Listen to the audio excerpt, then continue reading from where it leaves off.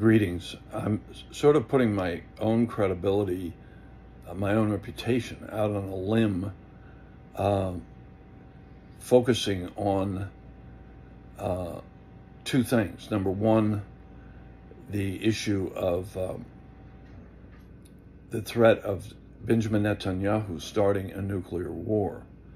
Uh, and number two, uh, focusing on reports in, in on Tech Show and virtually nowhere else, Tech Show on YouTube, which is there's no doubt that it's it's pro-Iranian and it's prone to exaggerate. Um, it, uh, but um, doesn't mean it's wrong about this Israeli connected pilot that it's alleging uh, assassinated President Raisi of Iran.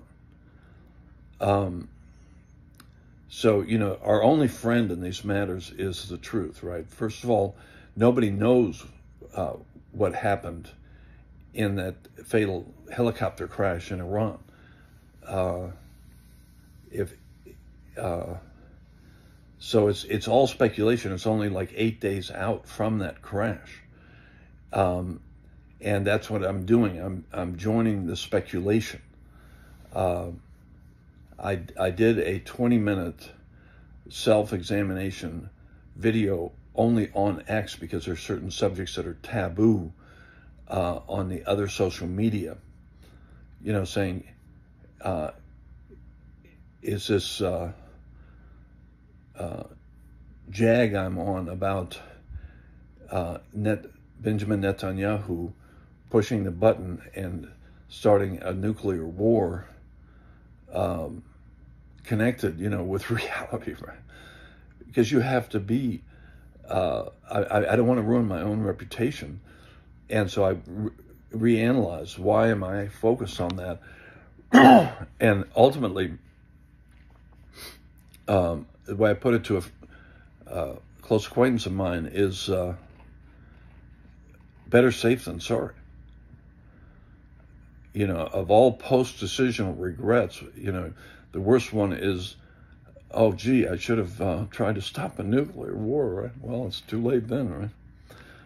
Uh, anyways, so that's an intro into this continuing submission. Nobody knows what happened to President Raisi, but the circumstances of Israel having assassinated one or three uh, Iran nuclear scientists, the situation of President Trump having assassinated uh, General Soleimani and having to have been talked out of a, a, war with Iran by Tucker Carlson when he was in power.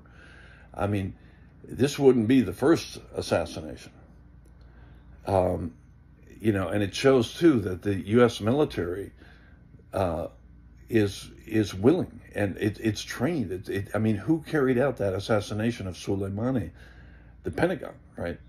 So they probably have their resources trained on situations like, you know, they, they do. They admit it. They they have um, contingency plans. What if we had to assassinate Fidel Castro? What if this happened? What if that happened? They have war games, whatever it is. Um, I don't want to go on and on. Nobody knows what happened to Raisi. It's all speculation. It's only eight days away from the death. Uh, and I'm going with the one that I think we need to be most cautious about to avoid nuclear war.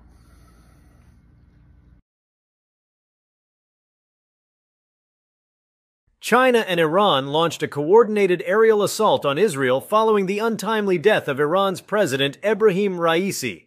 The helicopter crash, which resulted in the tragic demise of Raisi, has been shrouded in controversy and intrigue, primarily due to the involvement of an Israeli agent as the pilot. This revelation has sparked a furious response from Iran, culminating in a drastic military response in collaboration with China significantly escalating tensions in the already volatile Middle East. Before we start, please don't forget to like and subscribe to our channel for more updates. The helicopter crash that claimed the life of President Raisi occurred under mysterious circumstances. Initial reports from Iranian state media described the crash as an unfortunate accident, but subsequent investigations revealed a more sinister plot. The involvement of an Israeli agent as the pilot fueled speculation and conspiracy theories, with many in Iran's political and military circles accusing Israel of orchestrating the assassination. This narrative quickly gained traction, leading to a surge in anti-Israeli sentiment within Iran, and calls for immediate retribution. The Iranian government's response was swift and unequivocal. Military leaders, galvanized by the death of their president, vowed to avenge what they perceived as a direct attack on their sovereignty. The rhetoric of retaliation was not limited to words alone. In a move that surprised many international observers, Iran sought the assistance of China, a key ally and strategic partner.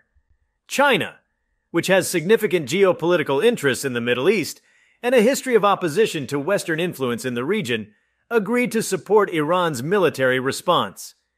This alliance underscored the growing complexity of global alliances and the potential for regional conflicts to escalate into broader confrontations. As the world watched in disbelief, Chinese and Iranian warplanes took to the skies, heading towards Israel. The coordinated attack was a clear demonstration of military prowess and strategic planning, the choice to launch an aerial assault was particularly significant, as it showcased the advanced capabilities of both nations' air forces and their willingness to engage in direct confrontation. The sight of Chinese and Iranian warplanes flying in unison was a stark reminder of the shifting power dynamics in the global arena. In Israel, the news of the attack prompted immediate